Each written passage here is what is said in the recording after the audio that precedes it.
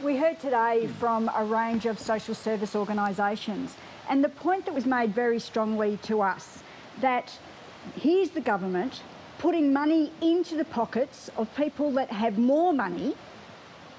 on moderate incomes and wealthy incomes, and yet taking money off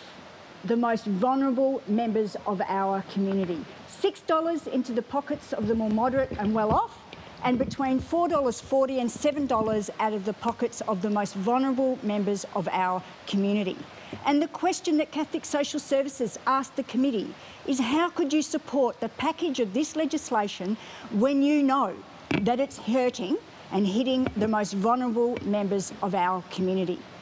Not only do they want to cut Newstart, and it is a cut, and those that who would if this goes through, be on Newstart into the future would be worse off than in the if the energy supplement never existed because of the way the government dealt with the indexation at the time. We also heard about the devastating impacts that cutting DSP to people that are in psychiatric confinement at the moment that have not been found guilty of a crime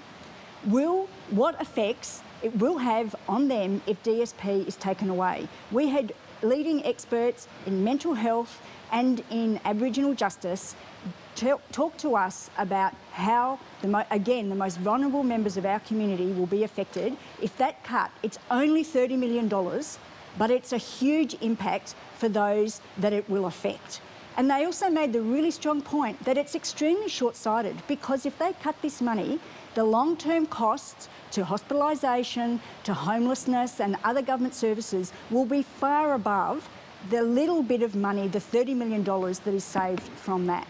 This hearing showed once again that the government and the ALP, if they do in fact support these cuts, that they are prepared to take the money off the most vulnerable members of our community yet again. The, the, government at this, at this point has a bad history here, and as, as Richard said, 2014 started it, and we've seen no change with the change of Prime Minister. Rachel Siewert of the Greens there. And before uh, Rachel Siewert, we heard from the Greens leader, Richard Di Natale, speaking uh, at Parliament House about legislation connected to Medicare Newstart and to climate change.